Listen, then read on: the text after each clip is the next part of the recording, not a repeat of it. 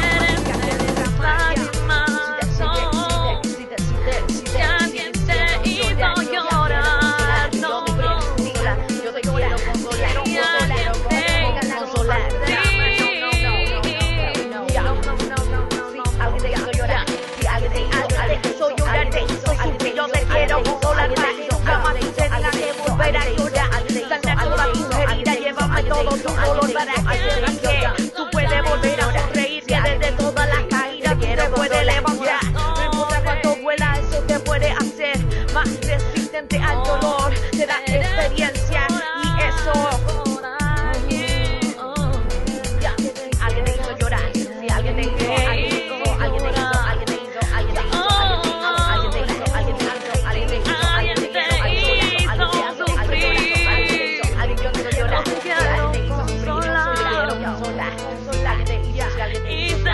toda